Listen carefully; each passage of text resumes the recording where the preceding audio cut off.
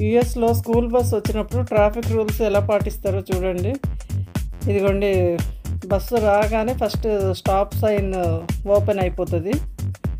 పిల్లలందరినీ ID cards చూపిస్తేనే కింద దింపుతారనమాట school bus వెళ్ళే వరకు ఆపోజిట్ ట్రాఫిక్ కానీ వెనకాల వచ్చే ట్రాఫిక్ కానీ ఆగిపోవాలి. స్కూల్ బస్ వెళ్ళిన తర్వాతనే ఈ ట్రాఫిక్ కార్స్ కానీ ఏవే కానీ వెళ్ళాలన్నమాట.